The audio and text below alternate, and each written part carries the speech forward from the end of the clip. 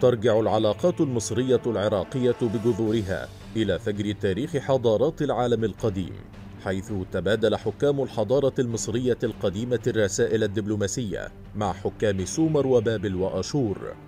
وحينما كانت المخاطر تهدد العراق كانت حضارة مصر تمد حمايتها على العراق والعكس صحيح. حيث وصل الملك المصري أمنحتب الثاني بالجيش المصري إلى ضفاف نهر الفرات بالعراق لحماية تلك الحضارة العظيمة من هجمات دول الجوار. وحينما سقطت الدولة العباسية وغادرت الأسرة الحاكمة بغداد لم تجد خيرا من القاهرة لنقل مقر الأسرة العباسية. ولاحقا شن الجيش المصري المعارك الواحدة تلو الأخرى حتى أسقط نفوذ التتار في المشرق خاصة معركة عين جالوت. وفي العصر الحديث كان التنسيق بين القاهرة وبغداد من أهم أركان منظومة الأمن القومي العربي بل وحتى المصري والعراقي. وحينما تأسست الجمهورية العربية المتحدة ووضعت نجمتين في العلم الجمهوري كان علم العراق هو نفس علم الجمهورية العربية المتحدة بنجمة ثالثة في إشارة إلى أن العراق هو الإقليم الشرقي للجمهورية العربية المتحدة. وبالفعل كان العراق هو البوابة الشرقية للعالم العربي حيث وقف الرئيس المصري جمال عبد الناصر موقفا فريدا من أجل إسقاط حلف بغداد الاستعماري. ولاحقا دعمت مصر ثورات العراق في الخمسينيات والستينيات ضد الهيمنة الأجنبية. وشهدت سنوات الرئيس عبد السلام عارف ذروة التفاعل العربي بين القاهرة وبغداد على ضوء علاقته الوطيدة بالرئيس جمال عبد الناصر.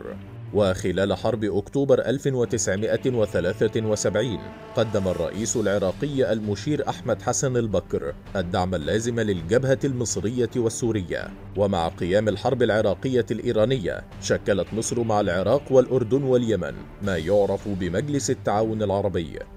وذلك لدعم البوابة الشرقية للعالم العربي ضد فكرة تصدير الثورة إلى الشرق الأوسط. وكانت لمصر إسهامات كبرى في المجهود الحربي وإنعاش الاقتصاد العراقي بالعمالة المصرية.